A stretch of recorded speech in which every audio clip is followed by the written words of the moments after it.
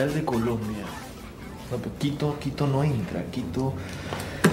Asunción, no, Asunción no entra. Capital de Colombia. ¿Cuál era? ¿Cuál era? ¡La puerta!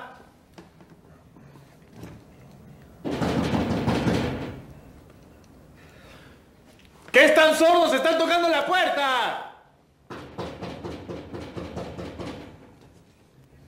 ¡Caramba! En esta casa son unos flojos, ya nadie puede abrir la puerta, ¿no?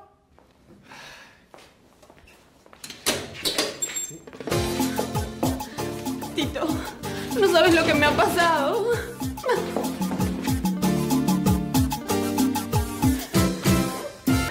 Me engañó. Es un miserable. Lo odio. Liliana, Liliana, ¿qué- ¿a qué has venido? Ignacio me engañó, Tito. Lo odio. Liliana, Liliana, Liliana. Mira, la verdad, eh, me da mucha pena verte así, pero... Yo ya hablé contigo y te dije que no me interesaba ser tu amigo. Tú ya sabes lo que siento por ti y, y no me hace bien verte.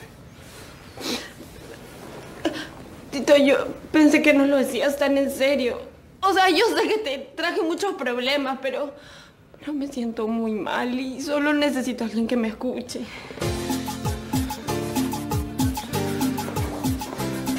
Lo siento, Liliana, pero no puedo ayudarte.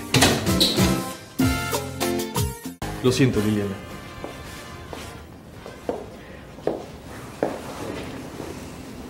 Disculpa, Tito, yo pensé que podías ayudarme, pero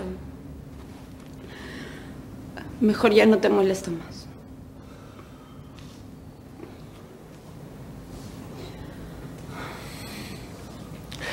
Liliana, espera.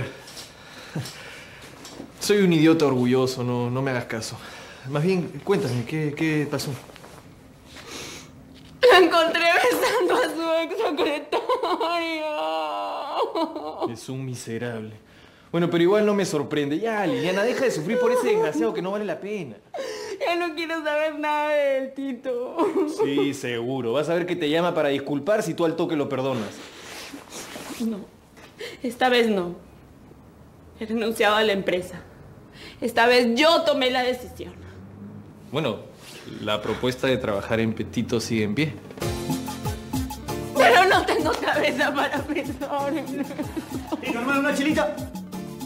아, 네. 아, 네. 아, 네. 아, 네.